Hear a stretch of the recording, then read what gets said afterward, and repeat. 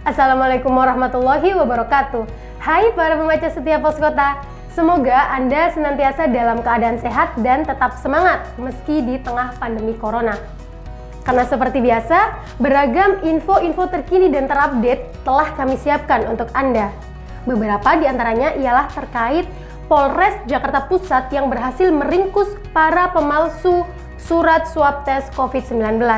Selain itu, Pemprov DKI Jakarta juga siap mendistribusikan bantuan sosial tunai kepada para warga terdampak COVID-19.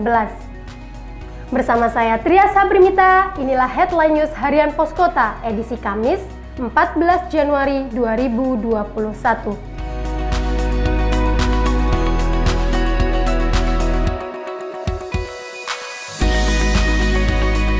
Kita awali dengan berita pertama di mana jembatan di kota Depok dijadikan area pertarungan oleh dua orang siswi SMA. Kejadian tersebut sontak membuat warga gempar. Lantaran video aksi baku pukul yang dilakukan keduanya viral di media sosial.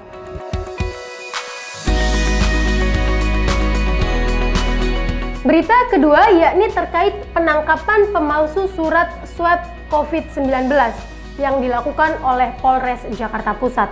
Dalam aksinya, pelaku menawarkan surat palsu tersebut lewat media sosial Facebook dengan harga Rp50.000 hingga Rp75.000.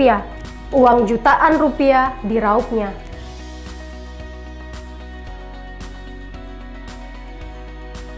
Selanjutnya yang menarik dan juga menjadi perhatian Poskota pada edisi kali ini yakni terkait Pemprov DKI Jakarta siap mendistribusikan bantuan sosial tunai kepada seluruh warga terdampak COVID-19.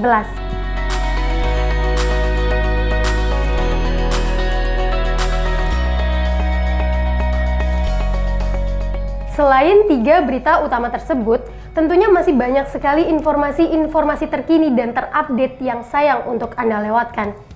Bagi Anda yang ingin memperoleh berita-berita dan informasi terkini, bisa langsung kunjungi website kami di www.poskota.co.id.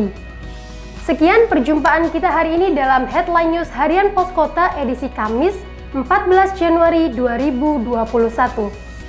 Saya Tria Sabermita mewakili seluruh redaksi yang bertugas mengucapkan terima kasih. Selamat pagi, selamat beraktivitas. Ingat, pandemi masih berada di tengah-tengah kita jadi jangan abai protokol kesehatan. Wassalamualaikum warahmatullahi wabarakatuh.